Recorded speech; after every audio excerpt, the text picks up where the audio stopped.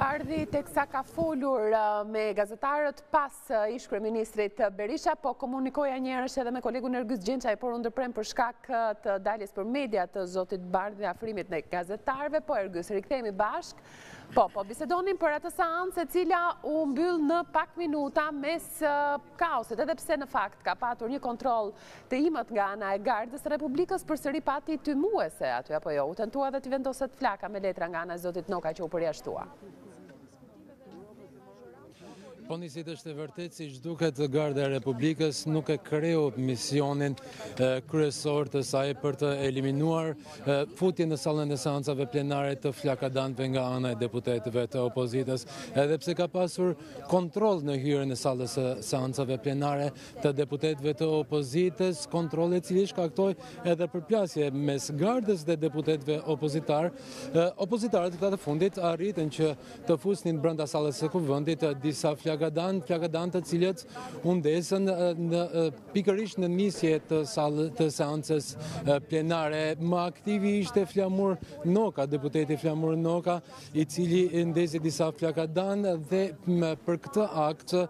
kryetarja e Kuvendit zonja Lindita Nikolla e cila drejtonte këtë seancë plenare njoftoi përjashtimin e tij nga seanca plenare pavarësisht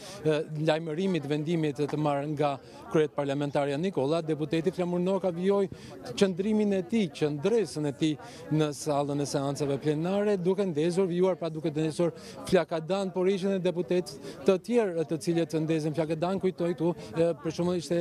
zonja Albana Vokshi, apo zonja Hoti, të cilat ndezën flakadanët në sallën e seancave plenare, pati tension dhe mes deputetëve Gazment Bardhi dhe Edi Paloka, të cilët shkuan në vendin ku po fliste deputeti Petro Koçi dhe tentuan t'i mbyllnin mikrofonin këtij të fundit, pra ishte një seancë plenare plot tension, kaos mes opozitës dhe mazhorancës e cila me qasjen e saj kishte ardhur për të zhvilluar një seancë plenare normale, nëse mund të quhet normale kjo seancë, edhe gjithë seancat e tjera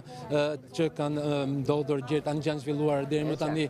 E sigurt është një sidë që nesër pritet,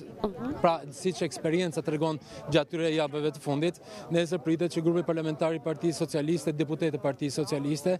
të nënshkruajnë kërkesën e cila pritet të dorëzohet të byrosë, më falni, sekretariatit të etikës për përjashtimin e një grupi deputetëve të Partisë Demokratike, masë kërkesë për masë ndëshkimore, sepse vendimmarrjen e masës ndëshkimore e merr sekretariati për përjashtimin e disa deputetëve të Partisë Demokratike nga kuvendi. Mbetet për t'u parë kjo nismë e Partisë Socialiste dhe cila